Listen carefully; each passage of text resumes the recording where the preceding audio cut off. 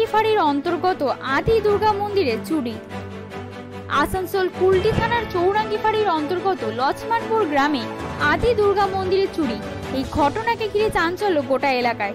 গ্রামের বাসিন্দা অমর ব্যানার্জি বলেন, এলাকার মুখার্জি চ্যাটার্জি ও ব্যানার্জিদের পারিবারিক দুর্গা মন্দিরে মূল গেটের তালা ভেঙে বিষ্ণু দেবতার সিংহাসন, খড়ম এবং বেশ কিছু পুজোর সামগ্রী চুরি যায়। এছাড়াও শিব মন্দিরের ভেতরে তামার প্রদীপ ও অন্যান্য সামগ্রী চুরি করে পালায় দুষ্কৃতীরা। যদিও মন্দিরে সোনার উপর গয়না রাখা থাকে না, তাই সেগুলো চুরি করতে পারেনি দুষ্কৃতীরা। তিনি আরও বলেন, এই মন্দিরে বিষ্ণু দেবতার সেবা হয়। একই সাথে শিব মন্দির ও দুর্গা মন্দিরও খুবই জাগ্রত। এই মন্দির এত প্রাচীন, এর আগে এমন ঘটনা কখনো ঘটেনি।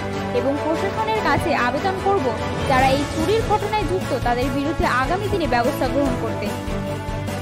ব্যানার্জি মুখার্জি এবং চ্যাটার্জিদের পারিবারিক নিজস্ব দুর্গাপূজা এবং দুশো বছরেরও পুরানো, অনেক প্রাচীন থেকে চলছে। আমরা এবং প্রচুর গ্রামের মানুষ এখানে এই আমাদের শিবের মন্দির, শিব আছে ভেতরে সারা বছর বিষ্ণু সেবা চলে, মা দুর্গা আছে মঙ্গলচণ্ডী আছে। যেটা কখনো হয়নি।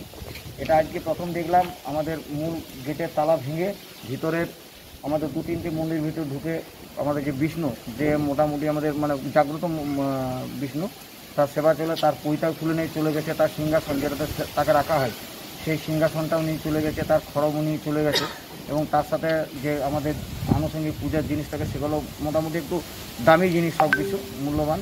সেগুলোকেও নিয়ে চলে গেছে। সেখান থেকে ঢুকে আবার শিব মন্দিরে আমাদের প্রদীপ নানা তামার জিনিসপত্র সব কিছু নিয়ে চলে গেছে।